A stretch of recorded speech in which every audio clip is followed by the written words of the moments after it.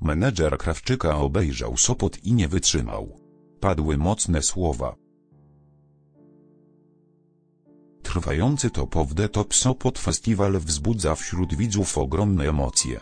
Wydarzenie organizowane przez telewizję TVN nie wszystkim jednak przypadło do gustu.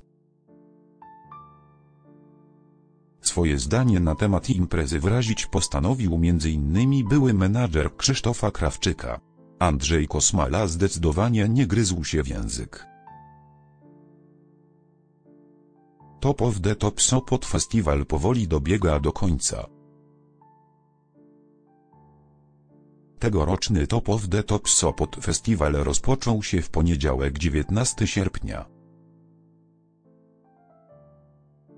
Trakcie czterech koncertowych dni dla publiczności w Operze Leśnej oraz widzów przed telewizorami przygotowano szereg atrakcji, oraz występów największych polskich gwiazd.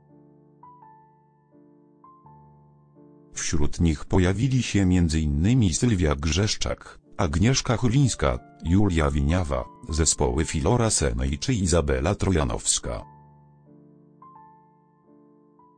Przed telewizami już ostatnia transmisja z Sopockiego Amfiteatru.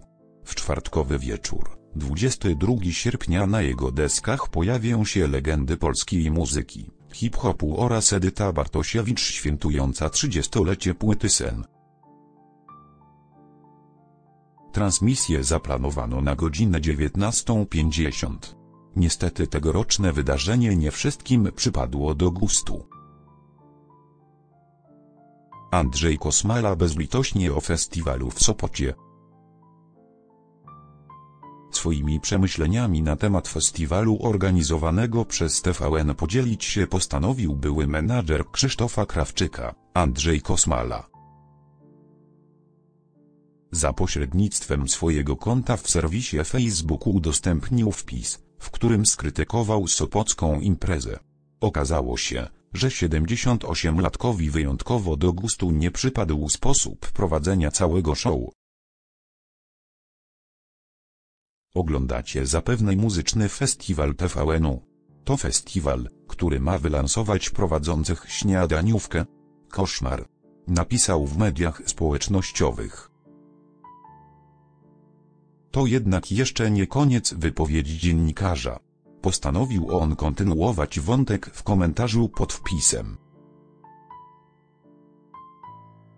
Zwrócił w nim uwagę, na jego zdaniem, braki w doświadczeniu wśród części z prowadzących.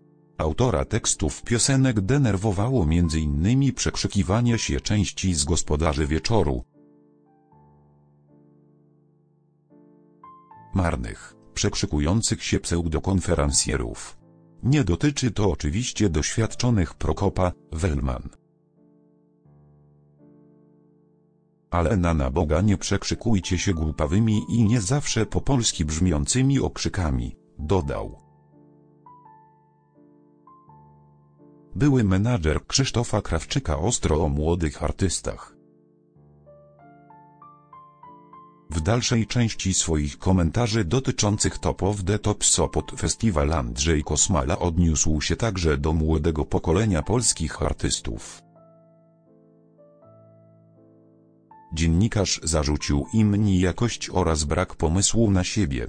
Stwierdził on również, że podczas tegorocznej imprezy nikt się nie wyróżnia, a wszyscy wokaliści są w zasadzie tacy sami. Wiem, że jesteśmy z innego pokolenia i też nie jesteśmy bez grzechu, ale po co ta rewia głupawych konferencjerów? A śpiewacy, kiedyś jak był festiwal, to biegłeś, by się wzmocnić. A teraz jeden poziom. Nic się nie wyróżnia. Dostaje pełno propozycji, by zająć się jako doświadczony menadżer ich talentem. Tylko że oni są wszyscy tacy sami. Zakończył.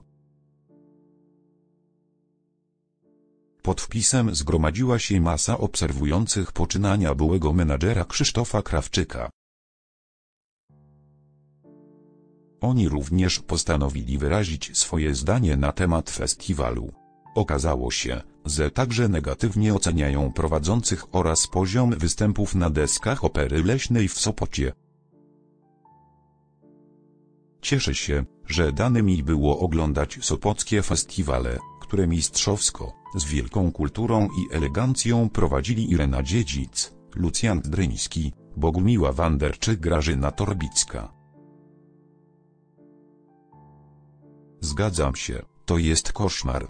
Żal mi Prokopa i Wellman. Koszmar. Zrobili sobie imprezkę. Tylko dlaczego w operze leśnej w Sopocie? Wtórowali mu internauci.